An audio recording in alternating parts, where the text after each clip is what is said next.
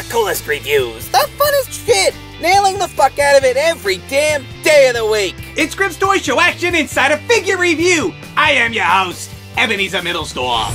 It's time for the review. The review time is now. It's Mattel Elite Series 32, Daniel Bryan. In the Wyatt Family jumpsuit riot, riot. Go enjoy the Wyatt Family.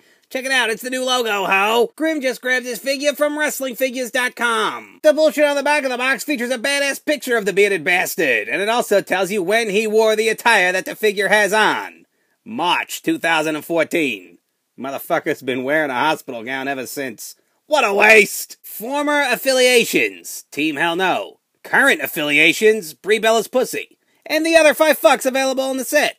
Because you know it's all about that beard, about that beard, no stubble. It's all about that beard, about that beard, no stubble. It's all about that beard, about that beard, no stubble. Every inch of that beard is perfect from the bottom to the top. This is his face. It brings a tear to my eye. What a thing of beauty it is. I can't wait to buy 45 of these fuckers so I can do head swaps and I can fix this mess and I'll never have to look at this Yukon Cornelius cocksucker again. Right after WrestleMania 30, Daniel Bryan had to relinquish his newly won WWE World Heavyweight Championship due to injury.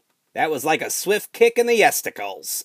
What a waste! Ah, Daniel Bryan, what a good husband to give a shout out to your wife on your knee pads. DB stands for dumb bitch, which is Brie. the big question is, when will Daniel Bryan return to action in the WWE? Perhaps when the clock strikes half past his ass.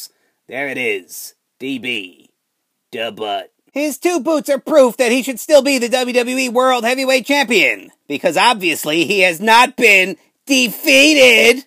And aside from that little cum trail on the bottom of his heels, there's really no detail on the back of his kick pads. Now comes Dolly dress up time. We get to put him in his little mechanic's uniform. Three hours later, I finally slipped this sucker into his little satin suit. Had I known that the motherfucker was gonna look like a goddamn grease monkey, I would have done this review on the service counter at Pep Boys. What a waste! Times four. So when do you think they're gonna give this motherfucker a hand mold with his fingers pointing in the air so we can do the yes pose?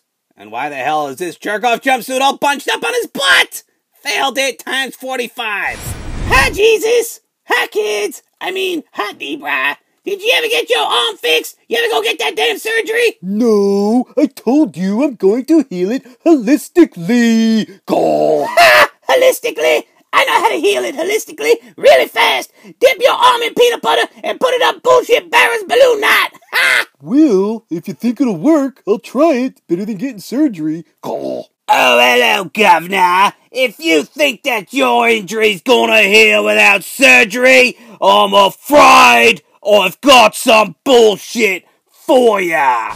Thank you for watching our show and welcome to Team Nailed It. Don't forget to check out our website, grimstoyshow.com. Buy all your wrestling figures at wrestlingfigures.com. Use discount code GRIM at checkout to save 10%. There's a link in the description.